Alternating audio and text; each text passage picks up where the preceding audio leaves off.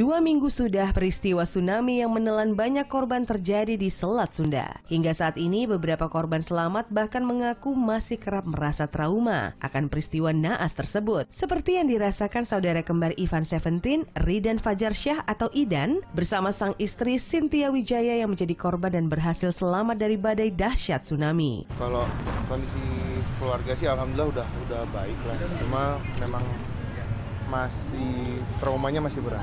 Traumanya masih lumayan berat.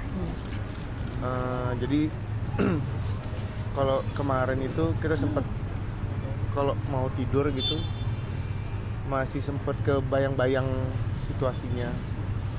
Terus kalau habis maghrib kalau angin kencang aja gitu itu kita udah ketakutan sendiri udah diem ketakutan karena lumayan bukan lumayan ya sangat-sangat menyeramkan sih. Di sisi lain, Juliana Muhtar, istri almarhum Herman Sikumbang yang merupakan gitaris Seventeen, rupanya kini juga tengah berusaha untuk kembali menata hidupnya pasca ditinggal sang suami dalam peristiwa tersebut. dua minggu setelah kejadian uh, lebih baik, uh, lebih menerima, tetap ikhlas. Uh, bukan mau mencoba melupakan, tapi memulai uh, harapan baru buat anak-anak.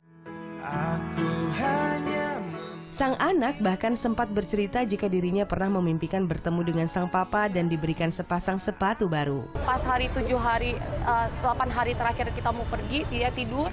Saya lihat memang dia kayak yang nggak geser gini doang sih. Pas paginya saya nanya, ah, Puja kenapa gitu?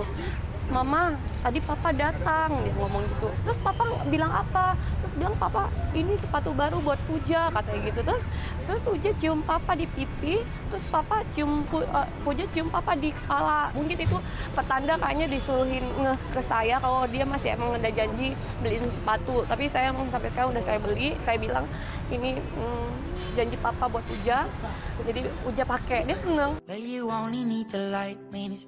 Sementara itu, keinginan Apoy Wali untuk bisa mengadopsi putri bungsu almarhum A.A. Jimmy yang berusia kurang lebih tiga bulan itu, sayangnya harus pupus. Lantaran keinginannya tersebut tidak mendapat persetujuan dari pihak keluarga. kalau buat diasuh mah ya kalau mau diadopsi kalau mau diasuh enggak kayaknya.